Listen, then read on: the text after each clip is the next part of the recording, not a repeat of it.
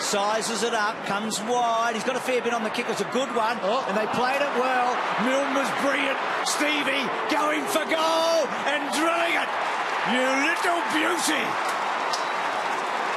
It's an absolute vintage Stephen Milne goal. Two Collingwood players go There's for it. Here it is. Didn't lose his feet and goes, I've got space in front of me. What he does so well is when he's from 50, doesn't try to overkick the ball, just Yeah. drops it basically on the goal line like he did there. Outstanding.